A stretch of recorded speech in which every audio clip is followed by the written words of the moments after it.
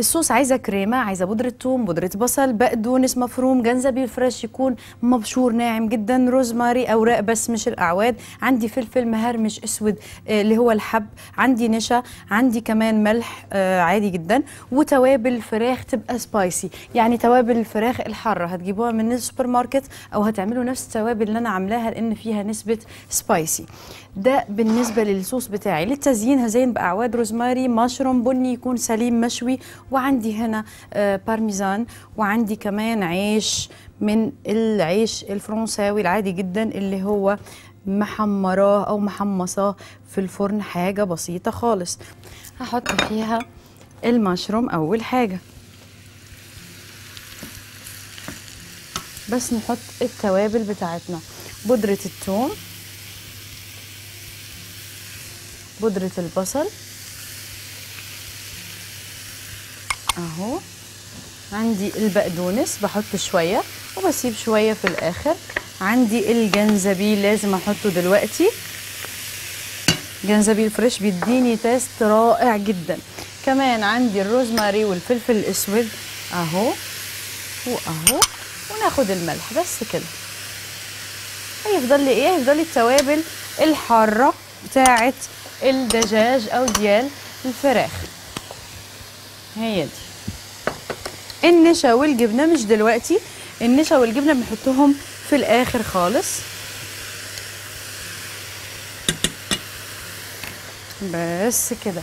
دي توابل الفراخ اللي إحنا كنا عملناها في حلقة التوابل. هتلاقوها النهارده نازلة على الصفحة إن شاء الله. هقلب تقليبة بسيطة. أهو. وأعمل إيه؟ أحط الكريمة بتاعتي. الكريمة. عايزة أعمل لبن.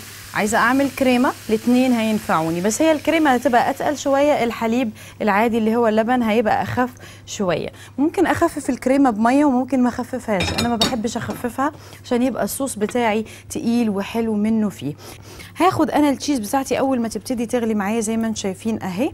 البداية بتاعت الغليان مش تغلي خالص. هقوم حاطة الجبنة الشيدر بتاعتي. أنا واخدة هنا الجبنة الحمراء أو صفراء كل واحد بيسميها إيه؟ أهو وهخليها هفضل أقلب فيها. طيب أنا عايزاه خفيف كده حلو جدا. حطيت عليه على فكرة الفراخ بتاعتي أهي حطيتها. وسبت شوية هنا أكمل لها لأن أنا شوياها نص شوية. فسبتها هنا عشان تكمل مع شوية زيت عشان تكمل لها التحميرة بتاعتها. أهو هخليها هنا عشان ما تبقاش معايا حمرا. طيب كده عندي أنا إيه؟ عندي المكرونة حاطه فيها التوابل بتاعتها حاطه المشروم بتاعي حطيت كمان الجبنة عندي النشا. النشا يا زوزو لازم أدوبها في إيه؟ عشان ما تكلكعش معايا لازم أدوبها في شوية مية باردة مش سخنة. هبتدي أنزل عشان آخد التقل اللي أنا عايزاه شوية بشوية. أهو. أنا هكتفي بالتقل ده. أنتوا أحرار ممكن تزودوا أكتر ممكن تقللوا براحتنا خالص. شكرا. أهو بالشكل ده زي ما أنتم شايفين. ابتدت تغلي معايا بالطريقة دي. عايزينها أتقل الصوص ده ممكن تعملوه. على فكرة الصوص ده ممكن تجهزوه لكذا حاجة. تجهزوه تعملوا تشووا فراخ تحطوا عليها الصوص ده. تبقى معاكم حلوة. تشووا آه عايزين تعملوا المكرونه عايزين تعملوا الصوص ده لرز هيبقى معاكم حلو. عايزين تعملوه للحمة هيبقى معاكم حلو جدا. جربوه وافتكروني مش هتندموا. باقي الكزبرة اللي عندي أو البق... سوري باقي البقدونس اللي عندي المفروم بحطه في الآخر بقلبه تقليبة بسيطة كده. أهو. آخر حاجة عشان نحافظ على اللون الأخضر بتاعه ما بتاخدش وقت الأكلة دي خالص. هبتدي أعمل إيه؟ هبتدي أنزل المعكرونة اللي عندي. هقلبها تقليبه خمس دقايق وهتبقى معايا حلوة جدا. أهو يلا بينا. تاخد معايا الصوص. وأهو. إحنا عملنا اللي ما يتعملش. في وقت بسيط جدا. غدا جاهز من كل مجاميعه مقبل وعندي هناك فراخ أجنحة الفراخ برضو مقبل أو أكلة براحتنا خالص. وكمان ممكن نعتبرها اللي إحنا حابين.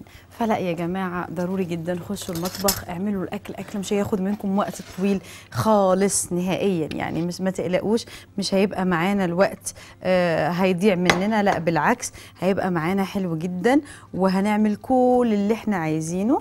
وهنعمل وصفات طعمها حلو جدا وهناكل في البيت أحسن ما نروح ناكل بره بكتير قوي. المكون إحنا عاملينه بإيدينا ضامنينه. خلوني أشيلها بإيدي مش راضية.